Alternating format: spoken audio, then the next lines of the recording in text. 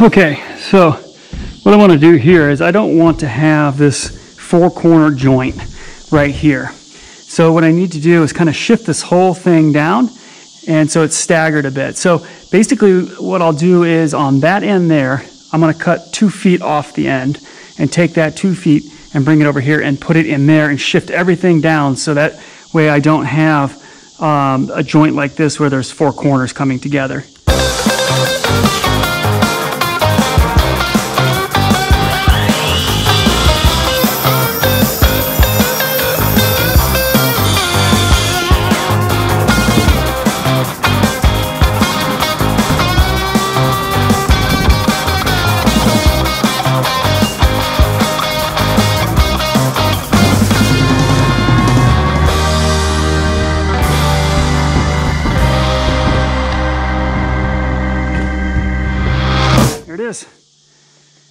That way now I don't have that joint like I had before. They're all kind of offset. All right, that worked out great. Well, I've got all my floor joists up and in for the master loft space. So those are all put up. They were a little difficult to do. Um, it took a lot of figuring out. I had some issues with the concrete floor being raised, a hump here in the wet wall area. So I had to kind of notch a lot of these joists to get them back level because I didn't account for that in the wall height when I put the wall in. So I had to make adjustments there. Um, I mean, just making sure everything is square, getting the right blocking in, just making sure it all is going to work out took some time. And but here we are. I got all the joists up, and I got all the subfloor OSB put up and just laid up there. Make sure it's all cut right and and fitting, so it's all there. So before I actually screw all that down and glue it down, I want to finish out the blocking in between each of these joists. Some of them are still kind of a loose um, because I want to make sure I can adjust to get that right. And then also, what I'm going to work on right now is the beam. I'm going to put the beam in across here. Now I'm just going to use two two by tens for this because it's just cantilevered over the hallway wall there. There, but I got to cut all of these ends of the joists all the way down this whole length here uh, to fit. And I want to get two two by tens in there width. So I'm gonna have to cut off, you know, an inch or two off the end of each one of these. But I'm gonna measure it and string a line so it's straight and square and get all my cuts in. I want to get that beam to fit right in here. So it's just two two by tens sandwiched in between this post and the joists. So I need to measure three inches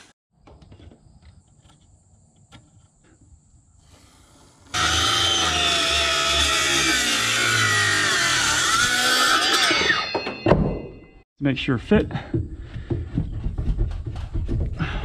we go. It's not the prettiest, but that'll work. Okay, so now that I got the first one cut to size, I'll string a string from here across to the, the last one after I check for square. All right, since I do want to measure square, probably from that corner. I'm gonna push this out a bit, so at 10 and a half to the inside of that joist.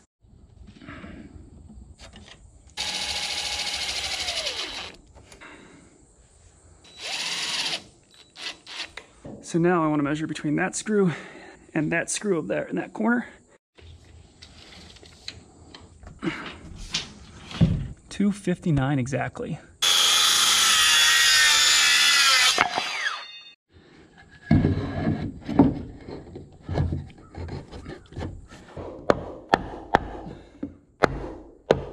Well, it looked like it. Let me go get the level to see if that's plumb. Looks like it's a little off, but it might be good enough for now. Okay, so now I need to take the measurement.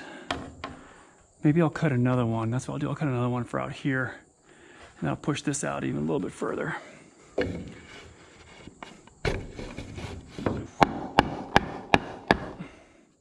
Okay, so now I'm measuring from that corner to 259. So I'm just gonna extend this out to 259. 259 on the outer edge. Okay. So that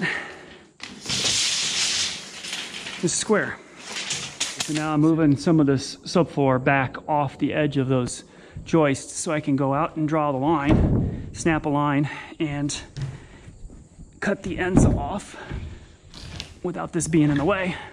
All right, so I'm gonna hook this onto there. So that should give me an exact spot. Pull it across. Be careful where I step so I don't fall through. See if I can reach back and snap this line. Okay, now I got my measurement straight across. I'll transfer those down with the square. All right, so what I'm gonna do is take that line there and just draw it down, transfer it down using my quick square. I'll come back and do the bottoms from down below.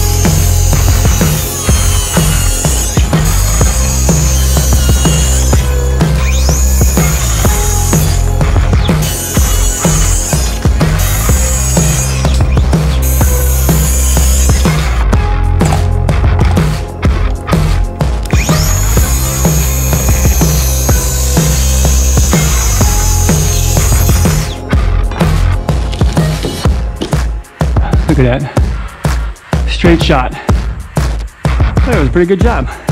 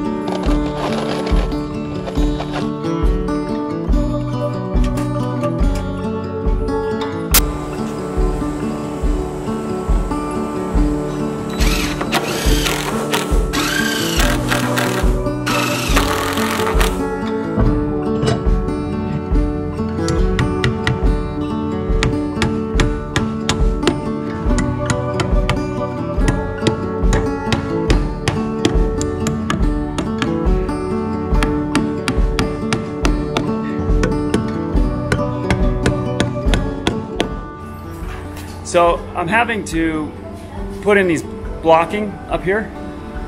And what I'm doing is I'm working my way down, so across and then all the way down each joist so I can maintain my measurement all the way down about 14 and a half inches in between each um, because these joists are somewhat bowed so I'm having to work it out by putting these blocks in to get the exact measurement so when I come to the end here with my subfloor up top it'll be all lined up right so I measured that one up there put that in as 14 and a half and then I get to the very end here and when I take this measurement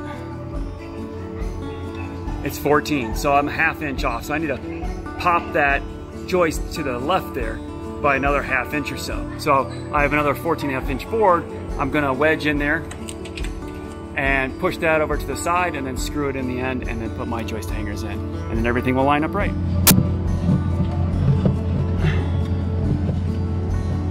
And you can see it's not quite, push this out. There we go. So now I'll put the screws in the end.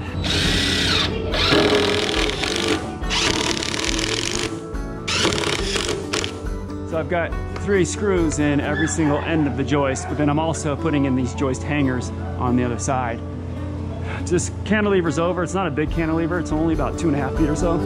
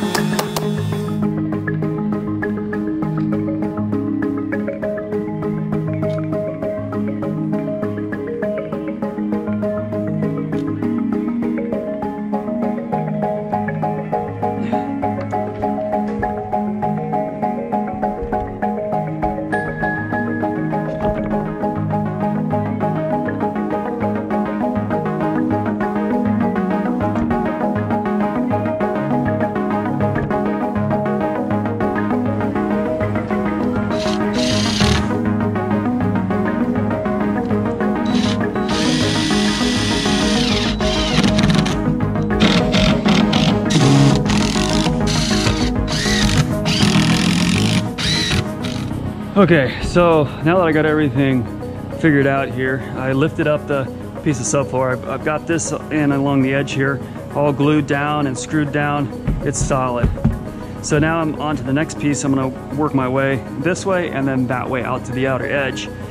And that piece there, I lifted up because I'm going to now put the glue down, liquid nails down. Um, I'm gluing and screwing this down because this is our living area and I wanna make sure it is done right and you know, helps with uh, any squeaking that might happen. I'm using all screws, no nails, and using glue to help hold it down. Give me some more of that liquid nail stuff. Yeah, I'm gonna need a couple of them. Oh, throw Yeah, throw them.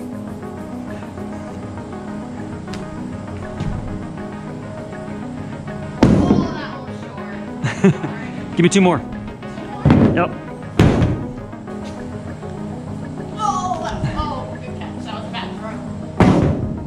Thank you. First, actually, I'm going to draw lines where these joists are so I know where I put my screws in. So,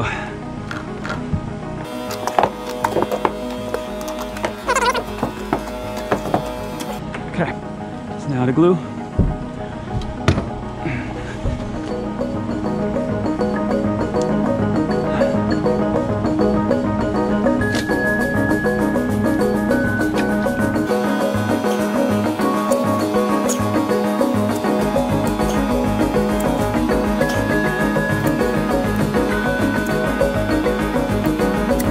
Okay, now that it's all glued down, or all the glue is down, I'm gonna bring this over.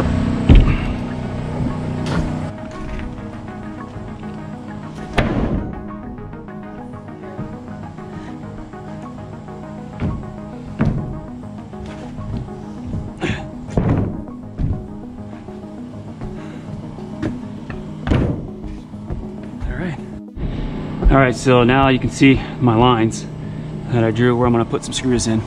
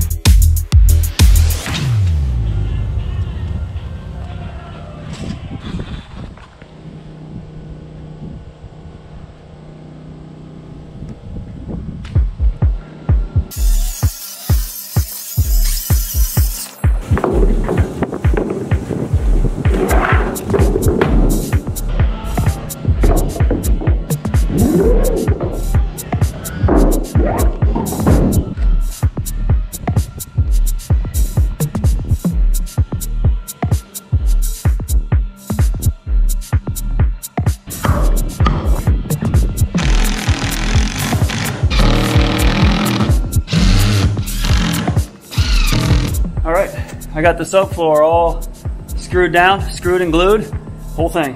Now what I gotta do is trim the edges off down that line there. So you can see there's a lip under there where I've got that subfloor overhanging the edge. So I wanna cut that off. And I got some cleanup work on the end here.